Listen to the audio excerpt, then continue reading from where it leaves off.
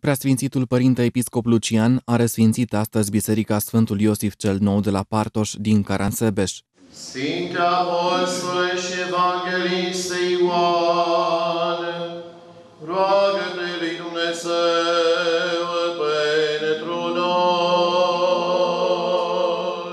Biserica a fost timp de foarte mulți ani paraclis pentru elevii seminarului teologic din Caransebeș. După ce seminarul a fost mutat în alt loc, Sfântul Locaș a fost transformat în biserică parohială. Recent, credincioșii, împreună cu părinții slujitori, au realizat ample lucrări de renovare a Sfântului Locaș. În 26 septembrie 1982, în al preasfințitul Timotei al Aradului, pe atunci episcop vicar al Arhiepiscopiei Timișoarei și Caransebeșului, târnosește această frumoasă biserică din incinta seminarului teologic uh, Ioan Popasu din Caransebeș, biserică închinată ocrotitorului Banatului Sfântul Ierarh Iosif cel Nou de la Partoș. Resfințim această biserică după ce în interior s-au făcut o serie de lucrări de amenajare și restaurare. În primul rând, s-a restaurat pictura acestei biserici,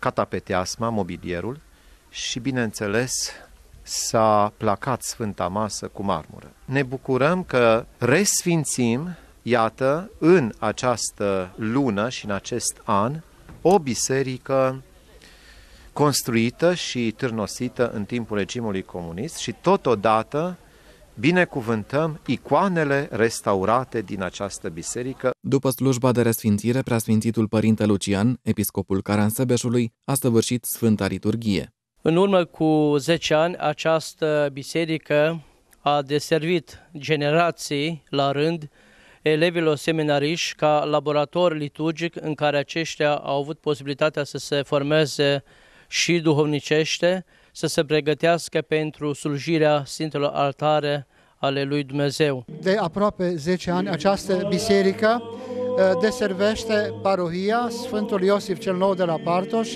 care în timp a adunat mulți credincioși, a constituit o biserică vie, dar pe lângă biserica vie s-au realizat și multe lucruri economice administrativ bisericești și au culminat astăzi cu uh, resfințirea prin renoirea Sfintei Mese placată cu marmură de către preasfințitul Părinte Episcop Lucian al Caransebeșului, precum și sfințirea picturii care a fost restaurată și a multor uh, înnoiri care s-au făcut în interiorul bisericii. În cadrul Sfintei Liturghii, ierarhul i-a hirotesit economi stavrofori pe cei doi preoți slujitori și a acordat diplome de excelență părintelui paroh, precum și celor care s-au implicat în realizarea lucrărilor a pune umărul la înfrumusețarea bisericii și, în primul rând, este un lucru care îl facem nu doar pentru biserică, ci și pentru enoriașii și creștinii din această parohie. Sunt niște acțiuni care, spunem noi, ar trebui să